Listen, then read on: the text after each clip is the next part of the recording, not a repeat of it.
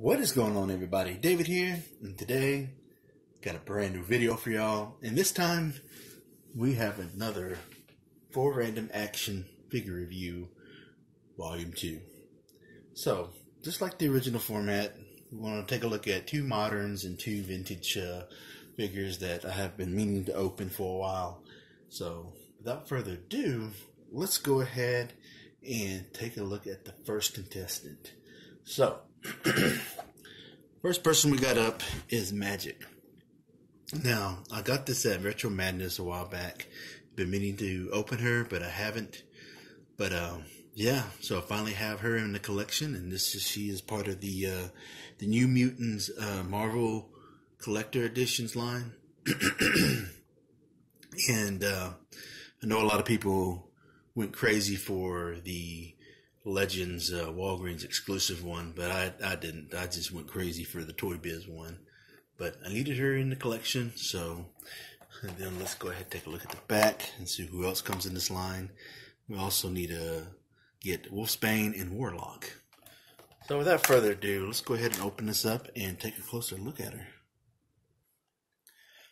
All right, so we have Magik with her flaming, uh, shooting Lockheed Dragon. So, and her headgear is coming off. so, let's go ahead and pull them out of the clamshell and then we'll get started on the quick review. Okay, so we have Magik out of her um, clamshell and with her Lockheed Dragon and accessories.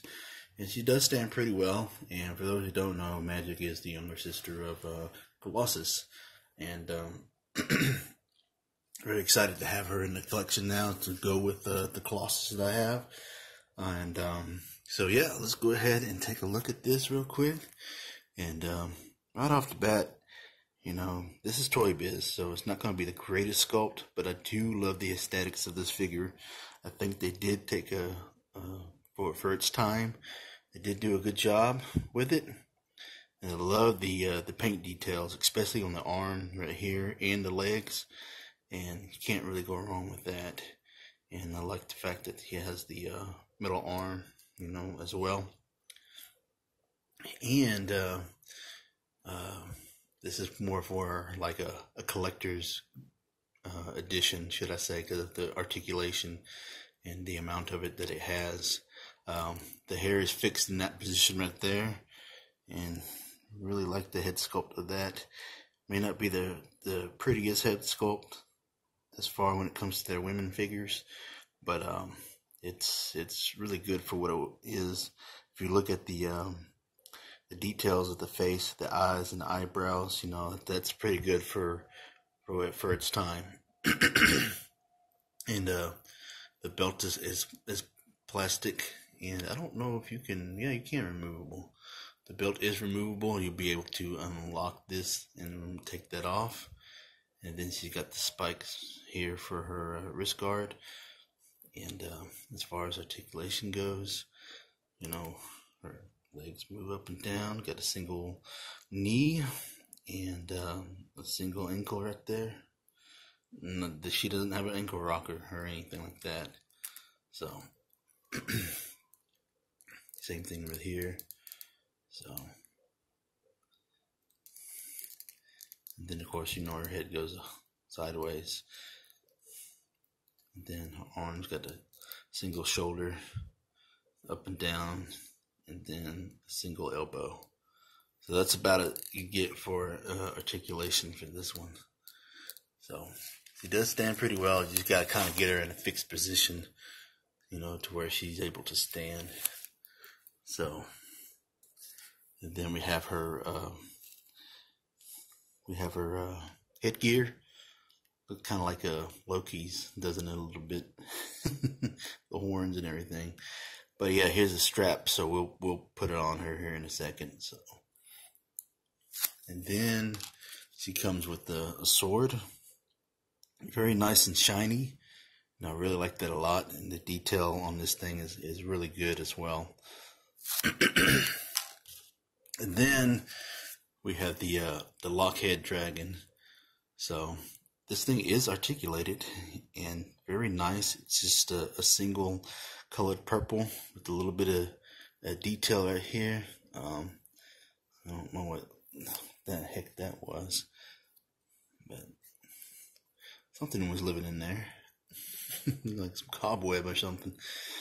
But anyways, so did jaw articulates. I do like the eyes on this. Kind of reminds me of uh, gargoyles a little bit. The the design, you know, this dragon, and the the wings do articulate as well. So very cool.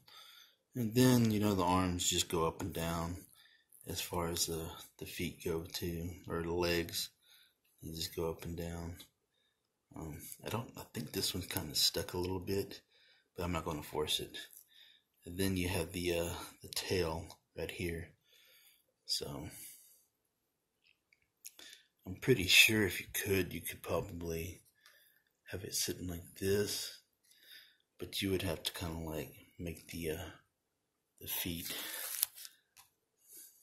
go forward a little bit more, but it doesn't go very much further than that. So that's about as far as you're going to get. But she does, it does just rest on her, her arms though. and then here is its uh, fire missile. So let's see if it can go right there. So, and then the button right here. Let's see if it works. trying to see if the gimmick works here or not.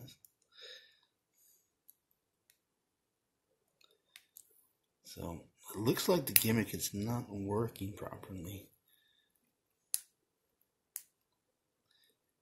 Oh, well, it might have worked back then. but uh, let's go ahead and put this dragon on her and all her gear on her real quick. And I'll take a closer look at that.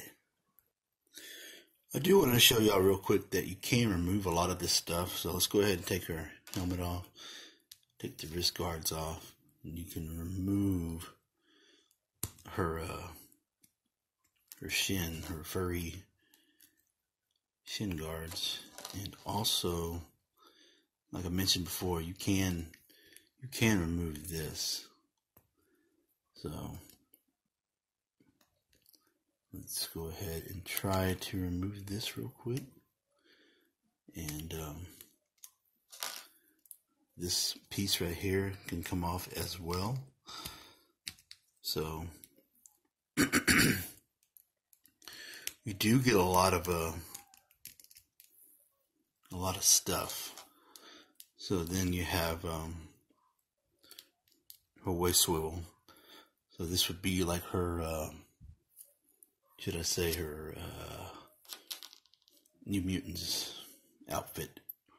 So, really cool. I really like this a lot. So, let's go ahead and uh, put some of this, let's put this stuff back on. All right, so she's all decked out in her gear, so I have to say that this figure is amazing. Uh, unfortunately, I was trying to put the um, the dragon on the arm, but there is no way for it to sit on there, even if you could. Uh, have it on there because the the feet, you know, they're they're not they're too wide. They're not close enough to where to be able to lock in our arm. But um, other than that, I love this set. It's an amazing set. So so happy that I was able to pick this up. You know, the the dragon alone makes it worthwhile and stuff, and the gear and everything. So very classic uh, Magik in my opinion. So I'm very happy to have this figure in the collection. Okay, so let's go ahead and move on to the next one. Alright, so the next figure I got coming up next is uh, from Hasbro. And um, it's somewhat somewhat old, but kind of somewhat new. So I guess it'll be in the classic range. So it's not quite vintage yet.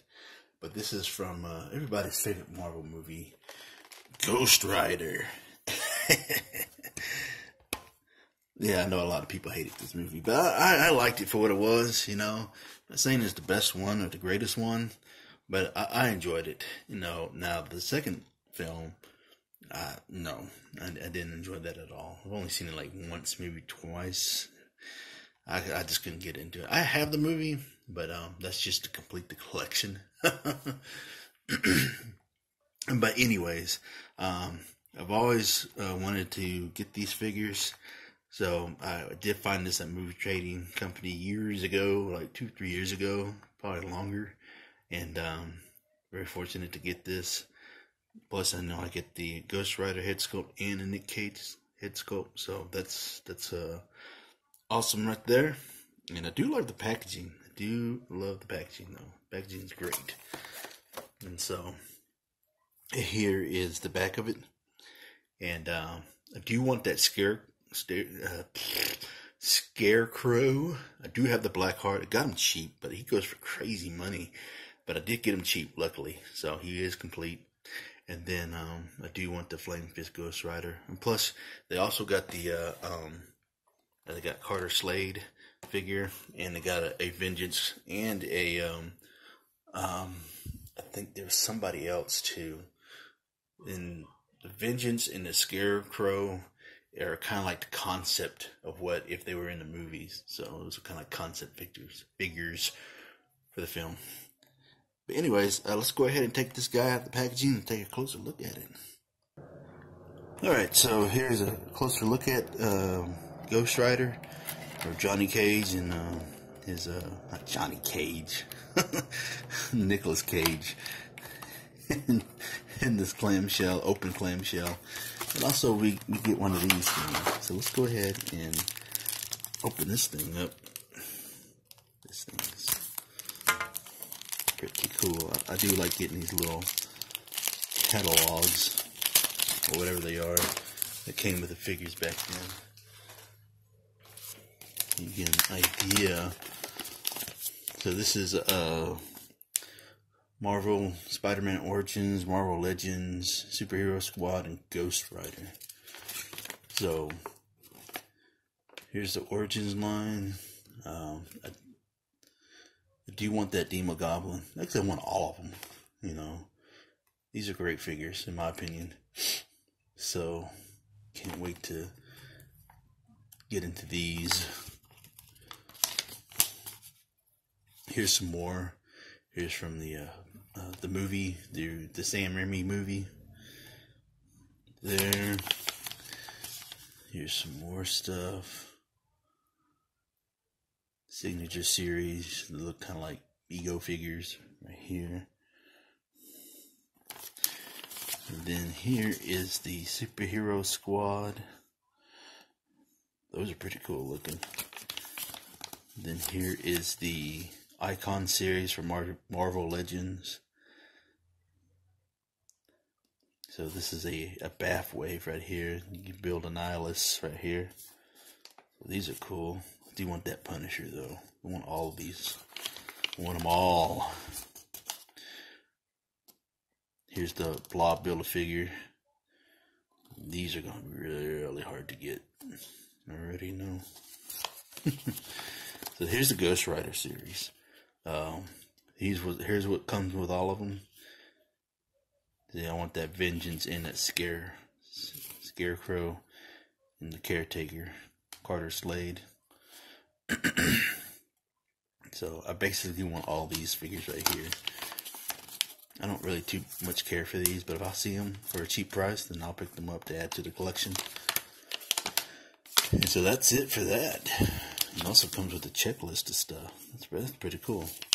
Anyways, let's go ahead and uh, take out this uh, figure right here and take a closer look at it.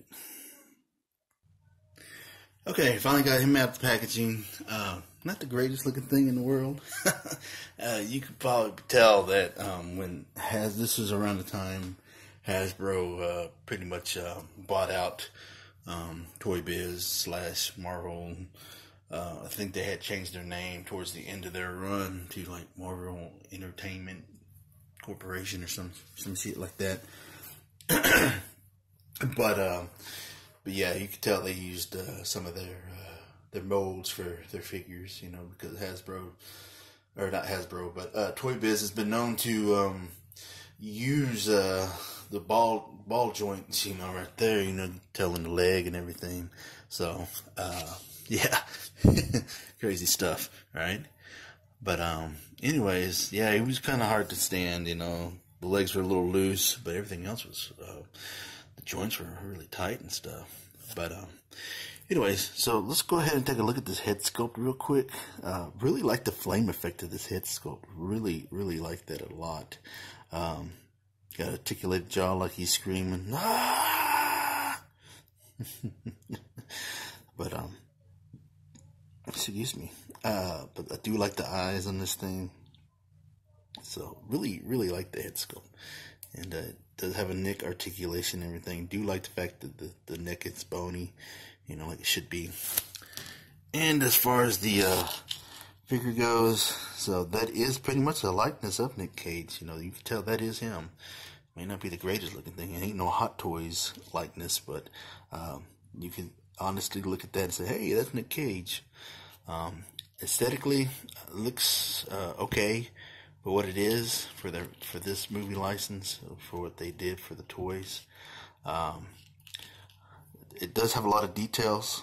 I'll give it that. You know, the molding was done very well as far as uh, what they did back then, and um, so it is somewhat aesthetically uh, appealing, should I say, or pleasing. Um, but that that's kind of that's a little out there, out there. but um, yeah, you can tell that the the the legs are loose. Um, but yeah, I do I do like the spikes on the on the coat and everything. So very very cool. Sorry about all that noise with the chain. Um, so, but as far as articulation goes, you know, you got the the ball jointed head, you know, up and down, and the arms, um, the shoulders on a ball and hinge, you know, you got the the shoulder uh, rotation right there, and you got the uh, the the double elbow right there. So articulation wise, it, it it's fairly good for what it was back then. So you got the uh, the hand and close, open and close, and then you got the the the wrist articulation right there, and then um, like I said, it's on the ball in hinge there as far as the legs go, and then this is where the stiffness really comes into play. So you do get a double knee, and then the feet you get the uh, uh you don't get the um, the lean or anything, but you do get the legs go up and down, and then the feet, you know, you get the toe articulation right there. So, and the same thing with this right here. Um, you can't really do a whole lot because the action feature is tied to that as far as this goes, so it's not, you can tell that it's not on a ball or hinge. So, but you do get a, uh, a double elbow right there you know, the wrist articulation. And um, you probably could take this out if you really, yep, you can. So let's go ahead and set that down for a second. So you do get the wrist articulation there. And the same thing, ball and hinge on this leg too. And the uh, double double knee. So overall, we still got some more of this uh, plastic. This thing was like rotted out on the on the figure. it really was. So it's like it never really was tied into it. It had all of it, but it just it was just it just came apart when I pulled the figure out of the plastic. so let's go ahead and change this head sculpt. Well, that was fairly easy. So I don't have a Ghost Rider. Well, I do actually I do have a Ghost Rider. This one right here. But yeah, you you can actually pop this in and out fairly easily, so it's not that hard to really get in there. So that's that's easy. I know that most other the legends they do now, the uh, the uh, you pop the head off of here at the neck, and sometimes it takes forever. You got to force it, but this this is actually fairly easy. It just pops in like that. So yeah, so this will be my Ghost Rider for right now until I actually get one that's legit. Like the Toy Biz one, or uh, whichever I can get. You know, that's that's a reasonable price. So, but as far as the action feature goes, this is the button right there, and uh, all you gotta do is just press that, and uh, yeah, let's, let's do this real quick. That way you can get a better look at it. So, it may not do much, but so you get this whipping at you. So it actually, it actually works pretty well. I like the fact that it just it pops up and it just goes out, and you can actually really hit somebody from that. So very cool. Really like that. So yep, this is my Ghost Rider figure for right now until I get the actual Toy Biz one. That's the one I really want that comes with the bike. So yes, sir. All right, so let's go ahead and check out the next one. All right, the the next figure up is from McFarlane Toys, and um, I saw this at uh, Target uh, a while back, probably around the summertime, I think, and um, was very happy to see this. And uh, my boy Harry sent me the other figure that goes with this, and um, I would like to do a side by side comparison before we wrap uh, this figure up, you know because they go good together. So it is the McFarlane Doom, the the Marauder. So this is a very very sweet looking figure to go to my collection for for the type of stuff that I collect. As far when it comes to my vintage and my modern stuff. Um, yeah, very excited to have this. So I really like the packaging in this one. Very cool. Side of the packaging looks really awesome. There, pretty much same thing. And then the back of the packaging. So yeah, let's go ahead and uh, open this guy up. Alright, so that's the inside of the packaging that's behind the figure. Here's the figure itself in the clamshell. And then you have the axe and the stand on the inside. So, very cool. So let's go ahead and get the Marauder out and his accessories and take a closer look at it. Man, I have to admit that this thing is amazing. It's very heavy. Well, not very heavy, but it is, it is a weighty figure. And the aesthetics in this thing is incredible. You know, you know, a lot of people complain about McFarlane and stuff, but he ain't got no complaints from me at all. Because I'm like I've mentioned time and time again, I'm not a posable guy. I don't care for my figures to have a whole lot of articulation. That's why I love vintage so much because I ain't got to do much with them. And plus, I'm not a fig photographer or anything like that, so I'm okay with this because you know if I'm if I'm gonna want something new, I want it to look nice. You know, collector's item, and this is what you would call a collector's item because you know, not only does the figure look good, but you know, he moves relatively well for the amount of articulation that uh, McFarlane gives you. He gives you the articulation, but just enough to where you can do what you need to do with it as far as displays, you know. Now, as far as if you're into toy photography, it may not be the exact figure that you want, like you would get with a Marvel Legends or uh, a WWE Elite or anything like that. But aesthetically speak, speaking, it gives you all that shit. I mean, look at that. That's that's just incredible, in my opinion. I love this thing. This thing is amazing. I mean, sculpt, the fact, the detail. You know, it's just look at that head sculpt. I mean, can't really go wrong with that. Look, that is insane. This it just reminds me of like the older stuff that he did in the nineties. so, I mean, the detailing of here, the abs, you know, you can see all the muscle right there, the arms, you know, the gauntlets and everything, you know, the straps. Look at all that. That that's a work of art right there. That's what I like, you know and that's what he goes for. You know, he's an artist. He he goes for looks. You know, the aesthetics of the the figure. You know, like I said, he gives you articulation, but just enough to, for you to do what you need to do with it. You know, and uh, but yet people still buy that stuff despite what they say and complain about. but hey, it is what it is. as long as you're happy with it at the end of the day, that's all that really matters, you know. Am I saying it's perfect? No. You know, everything has its own flaws for its own reason, you know. But, um, but yeah, it's just, that's cool. This is by far the figures that I've opened as with his new ones. This is by far the cleanest figure I've seen from McFarlane uh, since he started going back to uh, action figures. You know, I don't have any of his uh, Fortnite stuff. Um, the only one I really wanted from the Fortnite is the Peely, but I haven't really found his figure. I don't care for the Jazwares one. I do have the little one, but I, I, the six inch Peely, that's the only one I really want.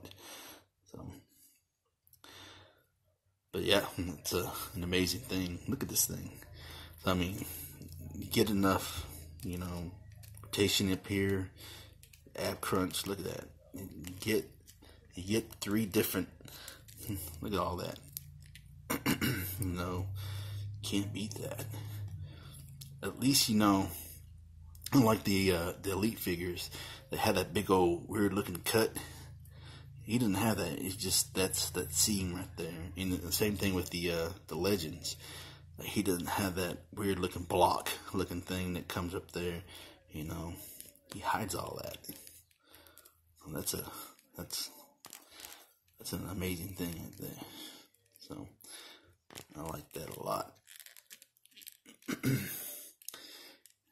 arms go up and down, and you can adjust this thing. That's another neat thing. You can adjust this thing to to get your your movement that you need.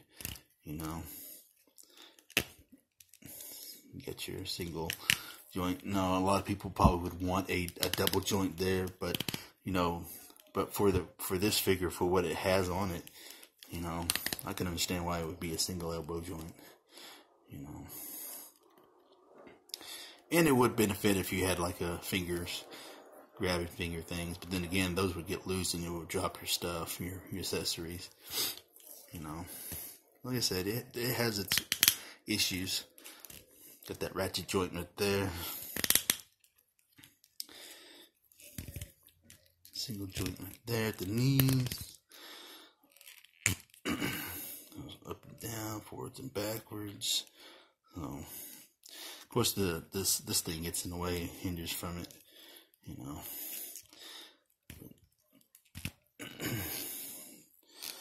the ankle right there, a slight rock right there, like uh, like my boy Venom Vang says, on the lean. so this is yeah, I like this man. This thing's for what it is. It gives me what I need for for my display. You know. But enough about that. Let's see. Let's go ahead and set him aside right here. now it comes with the doom stand, and then this. This is this thing's insane. It just reminds, like I said, this reminds me of the old accessories that you would get from the stuff that he pumped out in the, in the mid to late '90s. You know, a lot, a lot more detail and everything. Look at that. That's incredible. Work of art. A work of art. You know, when I was uh, growing up, and um, I did a lot of drawing myself, you know, so I see where it comes from and stuff. So you can look at something and you just use your, your imagination and just take from it, and then you just draw, draw it, you know, and that's what I, that was my ability was to be able to look at something and draw exactly how it is while I'm looking at it. Now, as far as not just random ideas from my mind, no, my brain didn't work that way. but um, I would like to get back into drawing. I just got to be motivated to do that kind of stuff, you know. I'm sorry, I'm, y'all y'all looking at my my hand more than anything. But anyways, yeah, I really like this thing. All right, let me do a side by side comparison with the Doomslayer that my boy Harry Sandman PR Vlogs uh, uh, sent me. And if you haven't checked out that video, that mail call video, uh, check it out. You know, go through my mail call videos uh, playlist and you'll find it. So here is the uh, the Marauder next to the Doomslayer. They look great, don't they? I love this pairing. So it's going to look great on my shelf. Can't wait to get these guys displayed. Alright, let's go on to the next one. Alright, last but not least is from Trendmasters. Now, y'all know I love me some Trendmasters. Now, this particular figure, um, I bought at Freaks and Geeks a long time ago, a couple years ago or so. And uh, I've been wanting to add more to this uh, line because I love this particular movie. And it was a uh, movie that me and my family went to go see, my parents, uh, all uh, my siblings, you know, my brother and both my sisters, we all went to go see this film. And it was one of the funniest things back then, you know. Of course, I, you know, I was a teenager when this movie came out. Um, love this movie to this day. And so, um, excuse me. And it is Mars Attacks. And um, this is the only figure I got in the collection. So hopefully I'll be able to add some more to it. Um, here is the back of it. There really isn't a whole lot more to this line. It's very select few. So there's only like, I need like three more figures. And then, you know, the saucer and all that stuff. Um, but yeah, would like to complete all of this. But, um, yeah, this is the Martian Spy Girl with firing freeze ray, ray blaster. so I, I love the card back. It's kind of reminiscent to the old Kenner uh, Aliens Predators card back, you know, and it had the, the the alien or the predator on the side, and then the the wording of the particular figure, like predator or alien. So it's the same thing right here. The Martian right there, and then Mars attacks right there. So very neat. And uh, we'll take a closer look at the card back once we get this blister off. All right, so we got the uh, the card uh, back or the blister off. So, um, like I said, we're going to take a closer look at this. I really like this. This is this is how card backs should be. You tell you got the uh, the ship right there, you know, blasting down the bottom with the fiery effect right there. It's a very neat. Really love this artwork. And then you got the old classic Trendmasters right there. So such an amazing card bag. So then we have the uh, figure right here. So let's go ahead and, man, this thing's loaded down with accessories. So let's go ahead and um, pull the stuff out and take a closer look at it, shall we? All right, so here is the uh, Spy Girl Martian with all of her accessories. It comes with quite a bit. So it comes with a, a mask that you can put on her her head, you know. And then comes with the blaster right here with two missiles right here. And uh, let's go ahead and just insert these right there. I think they're supposed to go right there. There we go. I don't know what the heck I was doing with that. So, very nice right there great looking detail. Like I said, I love me some Trendmasters. Not the greatest looking aesthetically uh, figures, but yeah, they, they, they come loaded. Here's the handgun right there. And there's her purse right there. And it does open up. So you can open this up and if you want to you can store her blaster right there, you know. And then it comes with a, a seating iron. Now, if you remember in the movie, you can tell right there in her hand right there, she used that just to, to spy on people. And so it actually came with one that you could use if you wanted to. The, I won't be using it. It's all sticky, old, old looking plastic. At that. Ugh. Oh, slimy, slimy. but here is the figure itself. So, look at that beautiful head sculpt right there. Very nice. Very nice detail. And that's one thing about Trendmasters. They, they, they never skimp you out on details, no matter what line they did, whether it be the Godzilla stuff, the Godzilla 1988 stuff, the Independence Day, Mars Attacks, you know, Tarzan, you know, anything that they could think of, you know, big or small, they always added detail to it, somehow, some way. So, very nice right there. There's the, the little coated, the uh, spy ring right there. See, you know, normally they wouldn't even paint that kind of stuff. But got the nails and everything. So not much way of articulation. Um, this is the button that you use. I would have to change out the batteries. So, but anyways, man, look at that. Just for this figure alone, it's it's very nice, nicely well done. So let's go ahead and load her up with her accessories and take a, see what she looks like. Okay, that's what she looks like with all her gear on her, accessories and everything. So very cool. I really like this. I do like the really like this a lot too. So that way you're able to take the the head on and off, the mask on and off. It's got this little slit so where you can have enough room to really uh, uh, play with to to put on. Because a lot of times when older companies when they do stuff or gimmicks like this, um, they get torn easily because they don't actually really make it fit. You just kind of have to force it in there to kind of like press down on it. But but with this, you don't got to do all that. All you got to do is just uh, kind of open it up a little bit or squeeze it and know, just slide the mask on. So perfect fit like that. So very cool looking. Really like that a lot. So move arms up like this and anything. So, all right, let's get them all lined up and do our final thoughts. All right, well, I guess that will do for this random four action figure reviews. I hope y'all really enjoyed this.